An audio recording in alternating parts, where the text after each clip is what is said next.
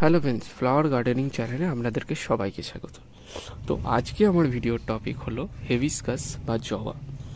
এই জবা গাছের অনেকের মধ্যেই কনফিউশন থাকে যে আমরা জবা গাছে কী সার দেব এবং সেটা জবা গাছের জন্য উপযুক্ত কি না তো সেই সম্বন্ধে আজকে আমার ভিডিও যে আমি জবা গাছে কী সার প্রয়োগ করতে হবে এবং আপনারা এই জবা গাছের কী পরিচর্যা করবেন সেই সম্বন্ধে আজকে আমি বলব। তো সর্বপ্রথম বলে দিই, জবা গাছের দুটো জিনিস সবচেয়ে বেশি প্রয়োজনীয়তা যেটা আছে। একটা হচ্ছে রোদ, আর সেকেন্ড হচ্ছে জল। আপনারা যদি রোদ আর জল জবা গাছে ঠিকঠাক দেন, তারপরে এই সারটি ব্যবহার করবেন এবং ব্যবহার করার পরে আপনারা দেখবেন গাছে প্রচুর সংখ্যক কুড়ি সারা বছর আছে এবং জবা গাছে প্রচুর ফুল ফুটছে।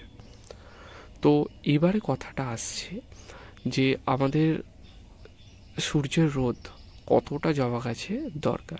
মিনিমাম সাত থেকে আট ঘণ্টা আপনারা সূর্যের রোদ জবা গাছের মধ্যে দেবেন এবং জল বিকালের দিকে দেবেন এবং সারাক্ষণ এই মাটিটাকে দেখুন ময়েস করে রাখবেন। কারণ জবা গাছ একটু ময়েস মাটি সারাক্ষণ পছন্দ করে, শুকনো মাটি পছন্দ করে না। তো এবারে কথা আসছে, তাহলে এই গাছে আমরা কি সারটা প্রয়োগ করব।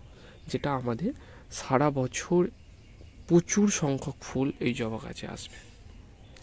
তো এবারে আমি সারটা আপনাদেরকে দেখাচ্ছি। সেই সারটা হলো, দেখুন, প্রথমে যেটা আমি ব্যবহার করেছি, এর মধ্যে সেটা হচ্ছে সর্ষের খোল। সর্ষের খোল আমি ব্যবহার করেছি নাইট্রোজেনের সোর্স হিসাবে এবং অন্য মাইক্রোনিউট্রিয়েন্ট, ফসফরাস, পটাশিয়াম সব এর মধ্যে আছে। তো মেন যেটা সেটা আমি নাইট্রোজেনের সোর্স হিসাবে এটাকে ব্যবহার করেছি। সেকেন্ড যেটা, এটা আছে পটাশ।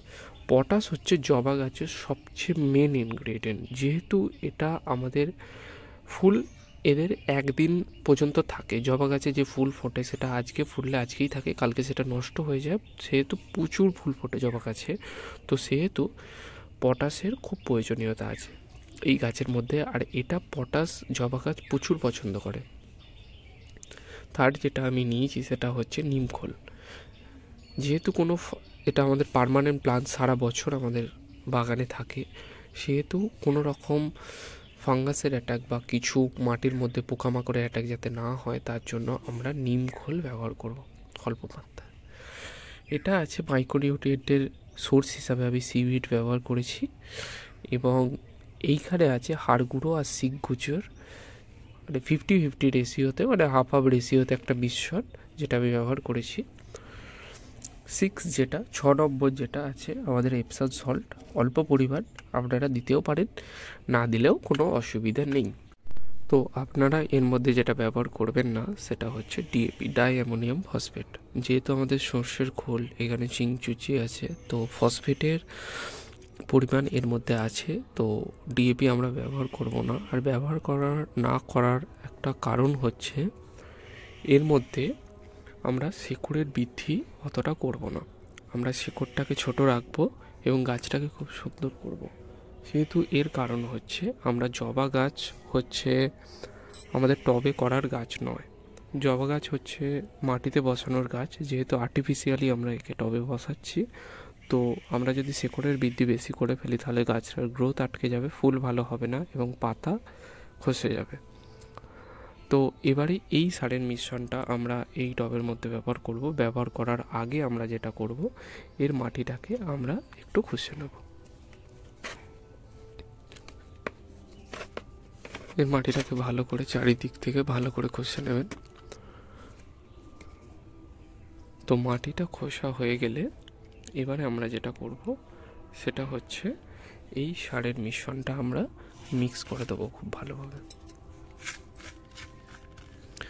আপনারা খুব ভালো করে এটাকে মিক্স করে দেবেন। এই সারটা ব্যবহার করলে মোটামুটি আপনাদের গাছে দু মাস আর কোনো সার ব্যবহার করতে হবে না।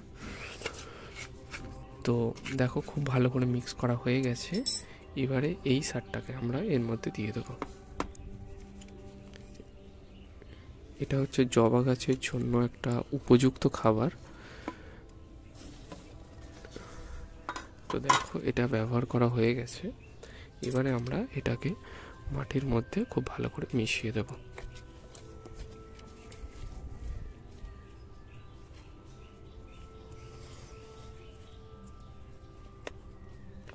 মাটির মধ্যে মেশানো হয়ে গেছে।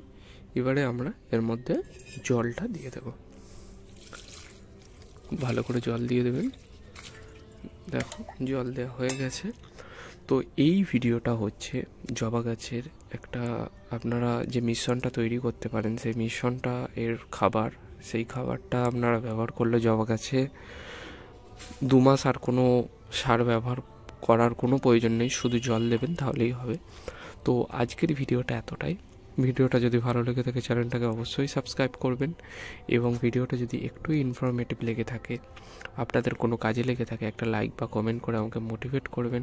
আজকের ভিডিওটা এতটাই। থ্যাংক ইউ ধন্যবাদ।